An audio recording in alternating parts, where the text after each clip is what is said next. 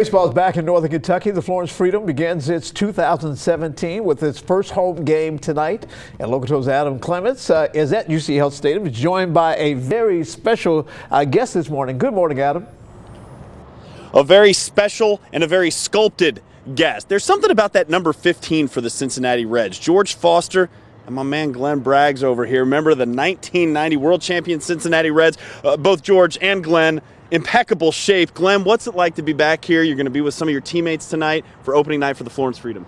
Uh, it feels great. It always feels good to come back to Cincinnati. I, I loved it when I played here and um, it's going to be good to see some of my teammates. And you know, you mentioned George Foster. Actually, George Foster was my favorite player when I was a kid. So is that why you wore 15? That's exactly right. And I, right? I, I seem to tell them that every single time I see them when I come back into town. Yeah. Is that why you still lift the weights too? Keep up with George? I, I'm just trying to defy gravity okay. over time by, by being in the gym. But yeah, it's it's a passion of mine. I, I, I like to stay fit. We got Herm Winningham, uh, Chris Sabo, and Tom Browning, Mr. Perfect, uh, going to be here.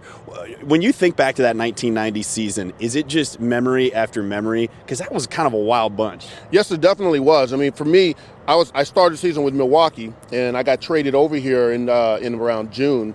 And one of the things that was amazing is the guys just welcomed me right in, and all I wanted to do was not, you know, was not mess things up.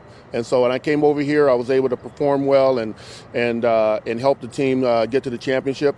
And the, all the memories that we have, like when we get when we come back for Reds Fest or the, the 1990 reunion, it's just nothing but fun and games and you know storytelling because it's just pretty awesome. It's going to be much like that here tonight. We're looking forward to it. They're giving away the Chris Sabo Rec specs. You know what, Glenn? We've been talking all week when we knew you were going to be here uh, about the the instances where you would just break the bat over your back on a on a swing if you were to suit up today, right now, how many could you put out?